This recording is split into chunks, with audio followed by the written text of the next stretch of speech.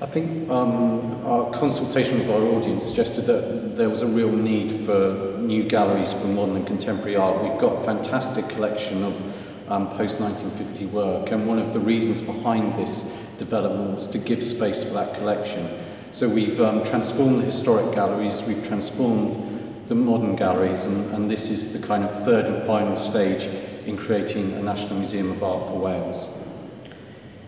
Well, we've kind of resisted just doing a straight highlights um, selection from the collection, but one thing we've tried to do is to kind of select the show on a, on a kind of theme, and one of the key words and the themes that we've chosen is the body, um, place and identity. But amongst that theme, or, or, or intertwined with that theme, is some big, um, some of the most famous works from the collection, including artists like um, uh, David Hockney, um, Reg Butler, and also um, Francis Bacon. So amongst a kind of thematic display, we've also created space to show some of our most famous works as well.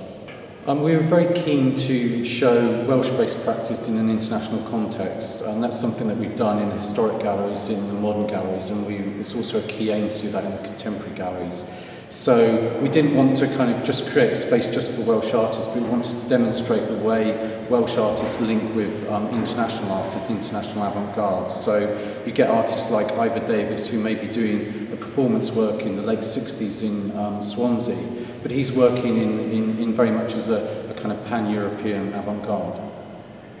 Um, the selection was led by um, the curatorial staff here, but we've worked very closely with a number of artists to kind of find the right work to represent their practice, particularly when loans are coming in from elsewhere. And we've also worked with artists to produce new work or reworkings of old work that they've made, especially for the spaces here. So there has been a very close dialogue with um, contemporary artists, and I think that's an important you know, development with this new space that gives us the opportunity to show the latest contemporary art, but that means that the museum needs to engage with artists, engage with the latest contemporary practice.